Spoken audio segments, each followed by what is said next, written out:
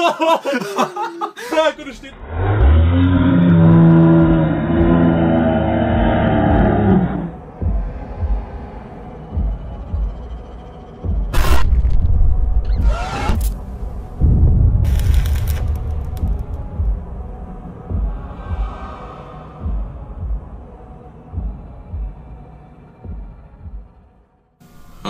Morgen, Jungs. Heute spiele ich mal SCP Containment Breach. Das ist ein weiteres Survival-Horrorspiel. Kostenlos ist es. Wir Den setzen den Link in die Beschreibung, genau. Genau. Danke. sagen, das sollte ich gerade sagen. Ja. So wird's gemacht. Ladet es euch runter, es lohnt sich auf jeden Fall. Ja.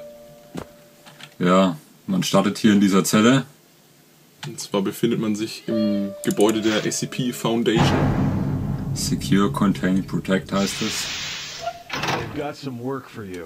Und das Spiel basiert auf einer fiktiven, ja, wie, wie kann man sagen, fiktiven Organisation, die sich mit paranormalen. Kreaturen, beschäftigt. Und jede dieser Kreaturen beträgt so eine bestimmte Nummer mit SCP am Anfang.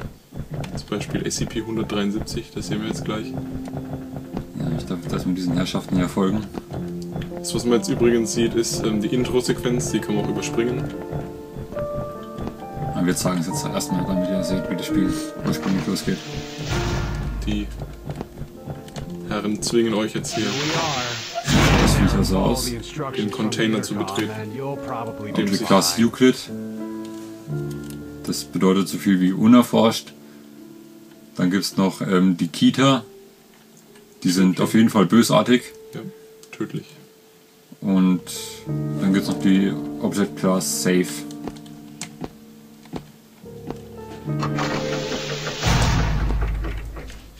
Da ist es auch schon. SCP-173. All Class D personnel. Please enter the Es containment besteht scheinbar aus Zement Zement, Beton. und Es bewegt sich nicht, solange es von jemandem angeschaut wird. sobald man den Blickkontakt verliert, bewegt es sich auf einen zu und bricht einem das Genick. Jetzt, wie ihr hört, gibt's hier responding to Probleme. any of our attempts to close it. So please maintain direct eye contact with SCP-173 Das SCP bricht aus.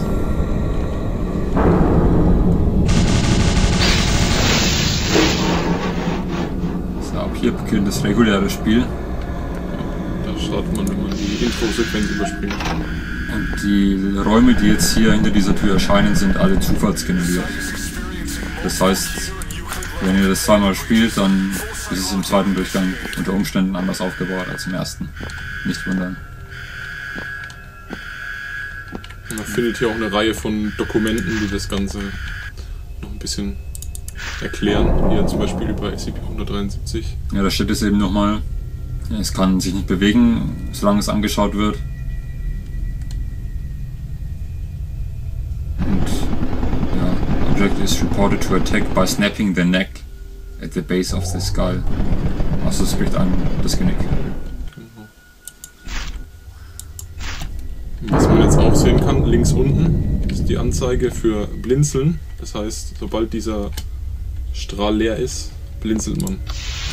Das ist sehr wichtig, wenn man in einem Raum mit SCP-173 ist. Sobald man blinzelt, bewegt es sich nämlich auf einen zu. Und es ist wirklich schnell. Darunter ist dann noch die Ausdauer. Man kann nämlich auch rennen. Ist für manche Räume essentiell notwendig, dass man da durchrennt. Ah, das Das hatten wir bis, bisher noch nicht, oder? Dieses Dokument. ähm, Das beschreibt diese ganzen Security Levels für die, Karten, die man. Keycards, genau. Ja, das. Ja gut, meistens findet man nämlich hier in so einem dieser Büroräume eine Keycard von Level 2. Da sind die Object Classes. Safe, Euclid, Kita. neutralized. Ist, wenn es zerstört wurde. Also so viel können wir schon mal verraten. Man kann einzelne SCPs auch zerstören. Zumindest vorübergehend. Bis sie wieder auftauchen. Aber das ist uns nur bei einem bis jetzt gelungen. Ja, und später ist er wieder aufgetaucht, ne? Ja, ich vermute, dass es einfach mehrere gibt. Was haben wir hier? Dokument. Ja, der hat irgendwie Verbesserungsvorschläge. Also keine wichtigen Infos mehr. Ja. Was sind die anderen zwei Dokumente? Security Clearance Levels Ja, und, Object Classes. Okay, kann man wegtun. Ja, wir empfehlen immer etwas Platz im Inventar zu behalten. Falls man nützliche Items findet, wie zum Beispiel hier Augentropfen. Also die sind extrem wichtig. Es gibt Räume, die kann man ohne die nicht durchdringen. Weil SCP-173 in den Räumen ist und wenn man blinzelt, was nach wenigen Sekunden passiert, dann stirbt man. Und mit diesen Augentropfen kann man eben das Blinzeln verhindern. Für eine gewisse Zeit. Und da ist auch eine Keycard. Wahrscheinlich Level 2. Level 2, ja. Was haben wir hier? Da geht's um Radical Larry SCP-106. Da heißt so. Radical Stand da. Larry. Scheinbar. Da bin ich hergekommen. Ne? Ja. Das ist ein toller Name für ein tödliches SCP. Ja, und das Besondere an dem SCP-106 ist eben, dass es durch Wände und Boden, generell durch Materie hindurch schweben kann. Und der hinterlässt dann eben solche Flecken. Du kannst nochmal den Monitor zeigen. Vielleicht findet jemand raus, was man damit machen kann. Wir haben es noch nicht kapiert, also. Also man kann hier oder scheinbar nicht mit dieser Oberfläche interagieren.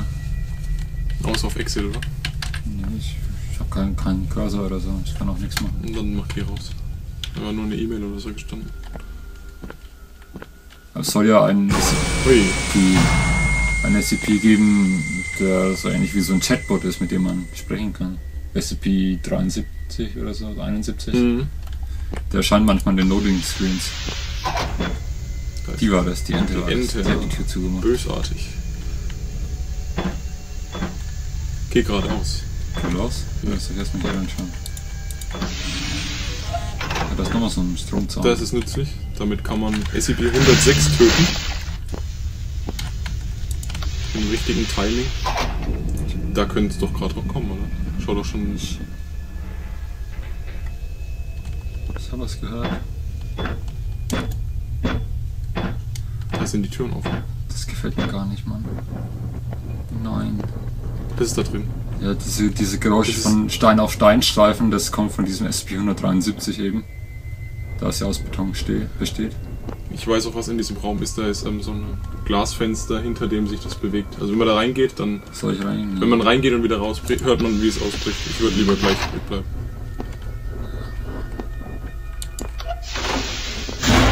Den Navigator habe ich schon. Ne? Ja, schmeiß weg. Also wenn es jetzt gleich scheppert, dann ist es aus. Da, das ist unser Radical Larry. Radical Larry. Ja, mich wird. Geräusche immer lauter. Mach lieber weg und ähm, lauf weiter. Ja, also der kann durch durch solides Material durchschweben Und hinterlässt dann diese Korrosionsflecken.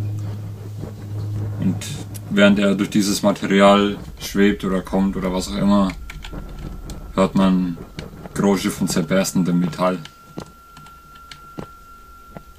Also wenn ihr sowas hört, lauft.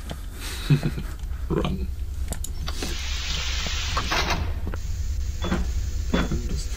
Das ist sehr gut, Ist rechts. das unser Raum? Ja, Ja, sehr gut. also es ist mit der wichtigste Raum in dem Spiel. Da ist ein, das SCP. Geh nochmal drauf, was es ist. SCP-914. Safe. Das ist ein, eine Maschine, mit der man Ja, Gegenstände, Items, Gegenstände verbessern oder ver verschlechtern. Oder Wie würde man das sagen? entweder verbessert man sie Verfeinern oder und ver man, man macht sie kaputt. Ja. So, also zum Beispiel mit der Level 2 Keycard oder generell eine Keycard. Ich glaube, das funktioniert genauso gut mit der Level 1 Keycard. Mhm. Very fine, gell? Very, Very fine. fine, ja. Dann bekommt ihr eine Omnicard. Auf Fein bekommt man, glaube ich, eine Mastercard, also eine Richtige Mastercard. Kreditkarte. Ist das vielleicht eine Anleitung? Schmeiß doch den Zettel da weg. World. Note, das haben wir schon. Achso, das war die Note von dem, ne? Guck mal, ob unsere Keycard jetzt eine Mastercard ist. Ja, machst du kein organisches Material in diese Maschine tun. Also wenn man Nein! kann man die vergröbern wieder. Glaub fast nicht. Mach mal auf leicht grob. Ne? Ich hätte vorher speichern sollen, wahrscheinlich. Ja, wäre eine Idee gewesen. Jetzt haben wir keine Keycard mehr. Mach auf Co So, soll, ich, soll ich mal speichern? Ich speichere mal. Aber waren, da waren zwei Büros, ne? Da war vielleicht nochmal eine Keycard. Da war zweimal dasselbe Ich Büro. habe keine, ich hab keine Keycard gesehen sonst. Und sonst müssen wir mal gucken, es gibt ja noch eine Level 1 Keycard und eine Level 5 Keycard irgendwo. Ja.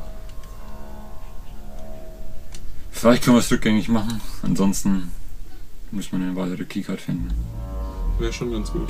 Vielleicht öffnet ja auch die Mastercard-Türen. Vielleicht öffnet die Mastercard ja auch Türen. Ja. Du kannst vielleicht am Automaten dir ein- eine Packung Smarties kaufen.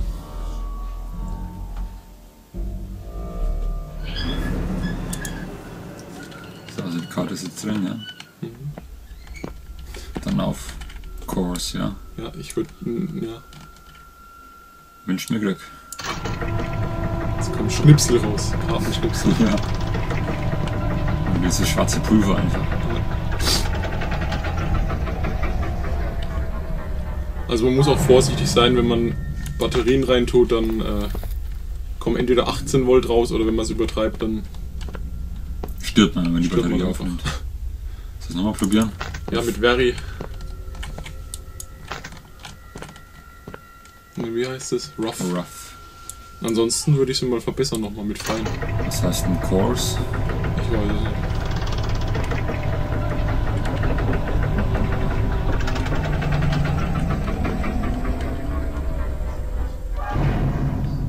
Nee, passiert gar nichts Und mehr. 1 zu 1. Und oder Fein? Fein. Vielleicht ist Mastercard schlechter als ähm, Omnicard. Ist so eine Zwischenstufe. Man Fein macht. Also irgendwas wird doch damit noch funktionieren. Wir übertreiben es schon wieder.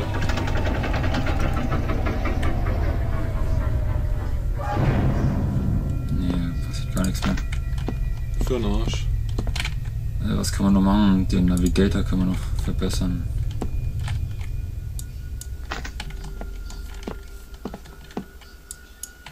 Very fine. Klar. Wenn man den Navigator so verfeinert, zeigt er unter Umständen die SCPs in der Nähe und verbraucht auch keine Batterie.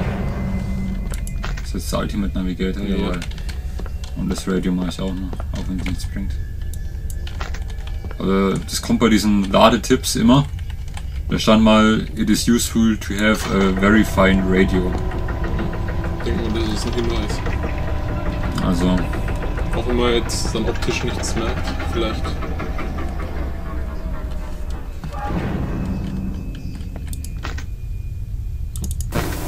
ja, der, der verbraucht eben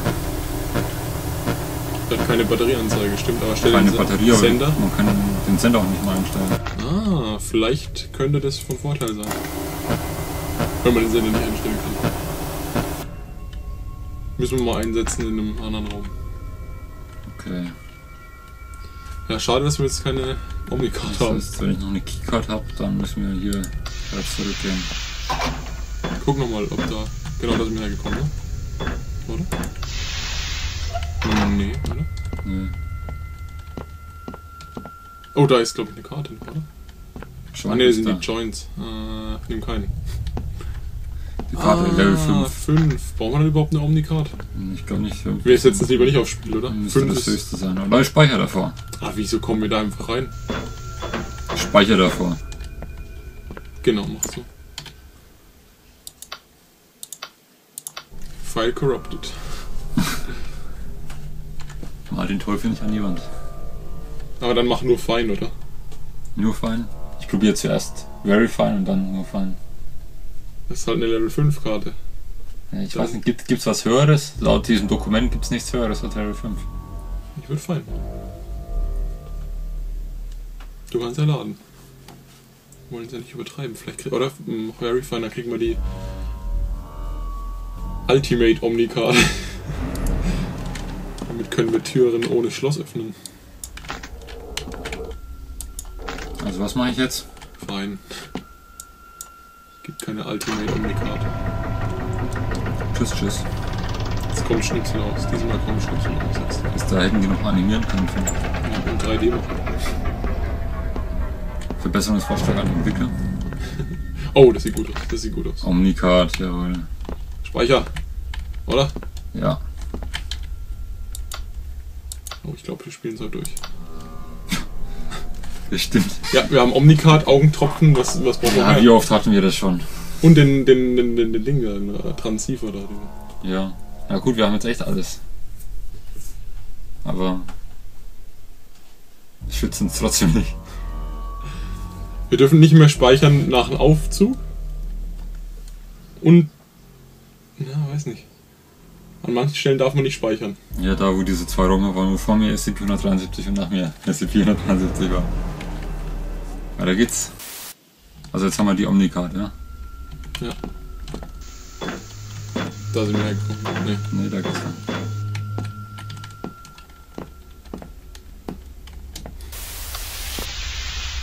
Nein, der kommt jetzt da, oder? Ja. Wir haben doch da hinten diesen Elektrozaun, ne? ja, lauf weg. Machen's, du musst den auch noch finden. Uah, Scheiße. Die Ente. Du, wir, wir werden ihn schon nicht abhängen. Zum Lauf. wo bleibt denn der? Ja.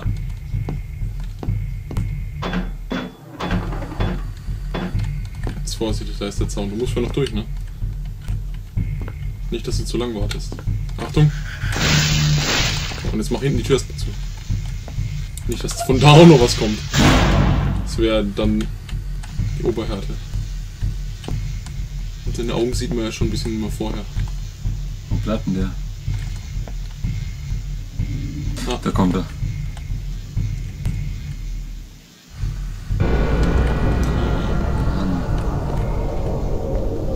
Also perfektes Timing ist gefragt. Jetzt. Ich hab ihn. Oh, Wollen wir speichern?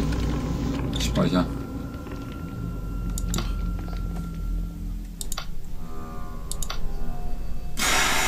Ja, Mann.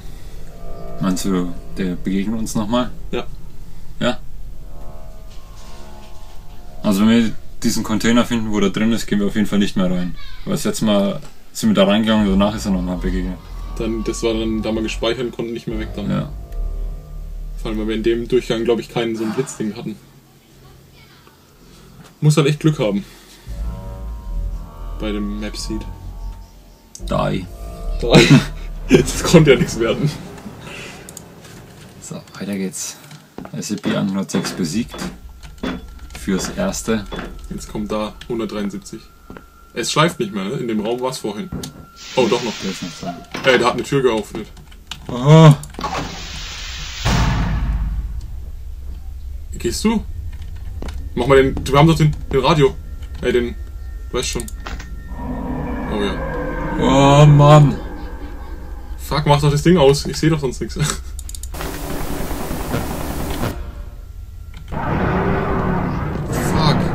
Mach, da auf die, mach die Tür bitte hinter dir zu.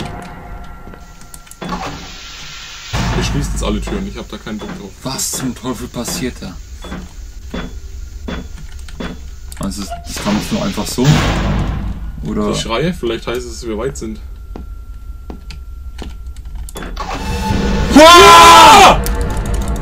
Nein! Nochmal?